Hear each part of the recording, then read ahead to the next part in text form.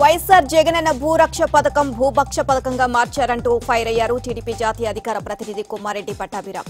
ప్రభుత్వ ప్రజల భూములను కొట్టేసేందుకు సరికొత్తగా పథక రచన చేశారన్నారు. గుంటూరు నగరంలో పోలీస్ వాహనాలు వైసీపీ రంగులతో దర్శనమిస్తున్నాయి. పాత వాహనాలకు వైసీపీ రంగులు వేసి షీ టీంలోకి అందజేశారు. అర్బన్ ఎస్పీ చేతుల మీదుగా షీ టీంలకు వాహనాలు అప్పగింత కార్యక్రమం జరిగింది. పోలీస్ వాహనాలకు వైసీపీ రంగులపై నారా లోకేష్ మండిపడ్డారు. త్వరలో యూనిఫామ్లకు కూడా వైసీపీ రంగులు వేసేలా ఉన్నారంటూ ట్వీట్ చేశారు. మహిళలకు భద్రత కల్పించడంపై దృష్టి పెడితే మంచిదన్నారు. టీడీపీ మాజీ ఎమ్మెల్యే ఎరిపెత్తినేని శ్రీనివాసరావు మీసం మేలేసి తొడగొట్టారు. టీడీపీ కార్యకర్తలపై ఎవరైనా దాడులు చేస్తే పల్నాడు బొబ్బిల్లా తమ దెబ్బ రుచి చూపిస్తామని అధికార పార్టీకి వార్నింగ్ ఇచ్చారు. రాజధాని గ్రామాల్లో రైతుల చావులకు ప్రభుత్వమే బాధ్యత వహించాలని అమరావతి రైతులు డిమాండ్ చేశారు. సర్కారు మూడు రాజధానుల నిర్ణయంతో ఆవేదనకు గురై ఇప్పటి వరకు నూట పన్నెండు మంది ప్రాణాలు వదిలారు అన్నారు. ఇంకా ఎంతమందిని బలి తీసుకుంటారని వారు ప్రశ్నించారు. అమరావతిలో మరో ఇద్దరు రైతులు చనిపోయారు. మందడంలో పోతూరు హైమావతి అనంతపురంలో వీర రాఘవులు తీవ్ర మనస్తాపంతో మృతి చెందారు. మృతులు రాష్ట్ర భవిష్యత్తు కోసం రాజధానికి భూములిచ్చారు. విద్యార్థుల సమస్యలు పరిష్కరించాలని డిమాండ్ చేస్తూ నెల్లూరులో మంత్రి అనిల్ కుమార్ కాన్వాయ్ను అడ్డుకున్నారు ఏబీవీపీ కార్యకర్తలు స్థానిక అన్నమయ్య సర్కిల్ వద్ద మంత్రిని అడ్డుకోవడంతో ఉద్రిక్త పరిస్థితి ఏర్పడింది. చిల్లర రాజకీయాలు చేయొద్దంటూ మంత్రి హెచ్చరించారు. జగన్ రాజధానిని సర్వనాశనం చేశారని టీడీపీ పోలిట్ బ్యూరో సభ్యులు శ్రీనివాసరెడ్డి ఆరోపించారు. వైసీపీ ప్రభుత్వం ఏర్పడ్డప్పటి నుంచి రాక్షసత్వం పెరిగిపోయిందన్నారు. ఒక్క అభివృద్ధి పనైనా చేశారా అంటూ ప్రశ్నించారు. కృష్ణా జిల్లా నందిగాంలో చేపట్టిన ఇళ్ళ పట్టాల పంపిణీ కార్యక్రమం గందరగోళంగా మారింది. పట్టాల గోల్మాల్లో అధికారులు ప్రజాప్రతినిధుల పాత్ర ఉందంటూ మాజీ ఎమ్మెల్యే తంగిరాల సౌమ్య ఆందోళనకు దిగారు. అర్హులైన ప్రతి ఒక్కరికి నివాస స్థలాలకు తక్షణమే ప్రభుత్వం కేటాయించాలని ఆమె డిమాండ్ చేశారు. హైకోర్టులో మిషన్ బిల్డ్ ఏపీ కేసు విచారణ సందర్భంగా పలు కీలక వ్యాఖ్యలు చేశారు జస్టిస్ రాకేష్ కుమార్. కేసు విచారణ నుంచి తప్పుకోవాలన్న ప్రభుత్వ రిక్వేజల్ పిటిషన్పై ఇరవై ఎనిమిదిన విచారణ జరుపుతామని తెలియజేశారు. ఈ కేసులో తాను విచారణ కొనసాగించాలా వద్దా అన్నది సీజే నిర్ణయిస్తారని స్పష్టం చేశారు. యాదాద్రి భువనగిరి జిల్లా నుంచి వరంగల్ నగర జిల్లా ఆరేపల్లి వరకు వెయ్యి తొమ్మిది వందల ఐదు కోట్లతో నిర్మించిన జాతీయ రహదారి నూట అరవై మూడును కేంద్ర రవాణా శాఖ మంత్రి నితిన్ గడ్కరీ ప్రారంభించారు. మరికొన్ని రహదారులకు వీడియో కాన్ఫరెన్స్ ద్వారా శంకుస్థాపన చేశారు. కార్యక్రమంలో సీఎం కేసీఆర్ రోడ్లు భవనాల శాఖ మంత్రి వేముల ప్రశాంత్ రెడ్డి తదితరులు పాల్గొన్నారు. గ్రేటర్ వరంగల్ మున్సిపల్ కార్పొరేషన్ పరిధిలో వచ్చే ఉగాది నుంచి ప్రతిరోజు తాగునీటి సరఫరాను ప్రయోగాత్మకంగా ప్రారంభిస్తామని పురపాలక శాఖ మంత్రి కేటీఆర్ తెలియజేశారు. గ్రేటర్ వరంగల్ మున్సిపల్ కార్పొరేషన్పై జిల్లా మంత్రులు ప్రజాప్రతినిధులతో కలిసి ఉన్నత స్థాయి సమీక్ష నిర్వహించారు. అభివృద్ధి కార్యక్రమాల పురోగతి సంక్షేమ కార్యక్రమాలపై అడిగి తెలుసుకున్నారు. నల్లగొండ నాగార్జున డిగ్రీ కాలేజీలో ఆరు కోట్లతో నిర్మించబోయే నూతన భవన సముదాయాలకు మంత్రి జగదీష్ రెడ్డి శంకుస్థాపన చేశారు. కళాశాల అభివృద్ధి కోసం తన వంతు కృషి చేస్తానని హామీ ఇచ్చారు. రంగారెడ్డి జిల్లా బడంగపేట కార్పొరేషన్లో తొంభై లక్షలతో చేపట్టిన అభివృద్ధి కార్యక్రమాలను మంత్రి సబితా ఇంద్రారెడ్డి ప్రారంభించారు. రోడ్ల విస్తరణకు మరో ఇరవై కోట్లను ప్రతిపాదించి అభివృద్ధి చేస్తామని అన్నారు. కేంద్ర రాష్ట్ర ప్రభుత్వాల సంక్షేమ పథకాలను అమలు చేసే బాధ్యత ప్రభుత్వ అధికారులపై ఉందన్నారు బీజేపీ రాష్ట్ర అధ్యక్షుడు ఎంపీ బండి సంజయ్. ఎన్నికల వరకే రాజకీయాలు ఉంటాయన్న ఆయన తదుపరి ప్రజా సంక్షేమం అభివృద్ధి కోసం అందరూ కృషి చేయాలని అన్నారు. తెలంగాణలో వ్యవసాయేతర ఆస్తుల రిజిస్ట్రేషన్లు తిరిగి ప్రారంభమయ్యాయి. కార్డు సీఏఆర్డీఏ విధానంలో రిజిస్ట్రేషన్ల ప్రక్రియకు జరుగుతుంది. విధి విధానాలపై సబ్ రిజిస్ట్రార్లకు రిజిస్ట్రేషన్ శాఖ ఉన్నతాధికారులు దిశానిర్దేశం చేశారు. శంషాబాద్ సబ్ రిజిస్ట్రార్ కార్యాలయంలో ఉద్రిక్తత తలెత్తింది. ఎల్ఆర్ఎస్ జీవో నూట పదకొండు లేకుండా నాన్ అగ్రికల్చరల్ భూముల రిజిస్ట్రేషన్లు చేపట్టాలంటూ టీఆర్ఎస్ బీజేపీ నేతలతో పాటు స్లాట్ల ఓనర్లు ఆందోళనకు దిగారు. దీంతో అధికారులు తలలు పట్టుకున్నారు. హుజూర్నగర్లో టీజేఎస్ అధ్యక్షుడు కోదండరాం పర్యటించారు. ఖమ్మం వరంగల్ నల్గొండ జిల్లాల ఎమ్మెల్సీ అభ్యర్థిగా బరిలోకి దిగుతున్న తనను గెలిపించాలని కోరారు. బీజేపీ ఎమ్మెల్యే రాజాసింగ్ మరోసారి సంచలన వ్యాఖ్యలు చేశారు. హిందూ రక్షణ గో రక్షణ కోసం ఎంతవరకైనా వెళ్తా అన్నారు. అంతేకాదు పార్టీ అయినా పదవి అయినా గోరక్షణ కోసం కాళ్ళ కింద తొక్కేస్తానని వ్యాఖ్యానించారు. ఏపీలో ఇంటి పన్ను ఇతర భారాలు పెంచే చట్టాలను రద్దు చేయాలని డిమాండ్ చేస్తూ ఆంధ్రప్రదేశ్ పట్టణ పౌర సమైక్య పట్టణ ప్రజా పేరుతో సంతకాల సేకరణ కార్యక్రమం చేపట్టింది. పట్టణ ప్రజాభేరి నాలుగో రోజున భీమవరం తణుకు కాకినాడలో సదస్సులు నిరసనలు నిర్వహించారు. తిరుమలలోని జేఈఓ కార్యాలయం ఎదుట తెలంగాణ భక్తుల ఆందోళనకు దిగారు. తెలంగాణకు చెందిన ప్రజాప్రతినిధుల సిఫార్సు లేఖలు అనుమతించకపోవడంతో వారు ధర్నా చేపట్టారు. కేంద్రం ఏపీ సిఫార్సు లేఖలను మాత్రమే అనుమతిస్తున్నారని ఆరోపిస్తూ వారు నిరసన చేపట్టారు. తిరుమలలో శ్రీవారి భక్తుల కష్టాలు అన్ని ఎన్ని కావు? ఈ నెల ఇరవై నాలుగో తేదీ వరకు సర్వదర్శనం టోకెన్లను టీటీడీ జారీ చేసింది. ఆదివారం రాత్రికి టోకెన్ల జారీ ప్రక్రియ పూర్తి కావడంతో వివిధ రాష్ట్రాల నుంచి వచ్చిన భక్తులు టోకెన్లు లేక తీవ్ర ఇబ్బందులు పడుతున్నారు. విజయవాడ ధర్నా చౌక్ వద్ద పారిశుద్ధ కార్మికుల ఆందోళనకు దిగారు. పెండింగ్లో ఉన్న వేతనాలు తక్షణమే చెల్లించాలి అంటూ వారు నిరసన చేపట్టారు. జగన్మోహన్ రెడ్డి పాదయాత్రలో పారిశుద్ధ్య కార్మికులను పర్మనెంట్ చేస్తామని హామీ ఇచ్చారు.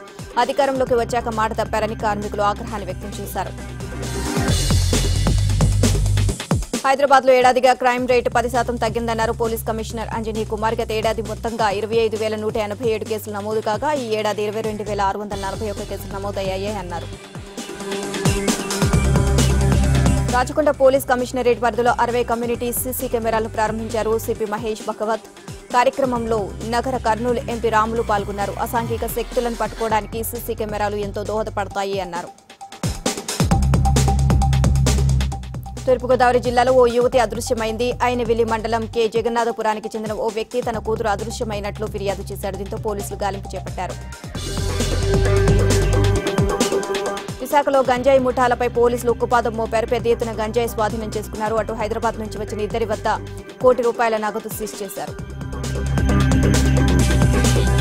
కడప జిల్లా వ్యాప్తంగా పాతుకుపోయిన క్రికెట్ బెట్టింగ్ వ్యవహారంలో సంచలన విషయాలు ఒక్కొక్కటిగా బయటకు వస్తున్నాయి. బెట్టింగ్ డాన్ నరసింహ ఆర్థిక కార్యకలాపాలు పారిశ్రామిక వర్గాలను సైతం కలవరపాటుకు గురి చేస్తున్నాయి. బెట్టింగ్లో సంపాదించిన బ్లాక్ మనీని ప్రొద్దుటూరులో రెండు ప్రైవేటు ట్రావెలర్స్ ద్వారా బెంగళూరు హైదరాబాద్కు తరలించినట్లు తెలుస్తోంది.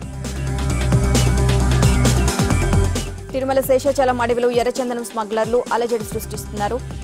ఎస్వి జూ పార్క్ వద్ద అటవీ ప్రాంతంలోకి చొరబడేందుకు ప్రయత్నించిన పది మంది ఎర్రచందనం స్మగ్లర్లను టాస్క్ ఫోర్స్ సిబ్బంది పట్టుకున్నారు.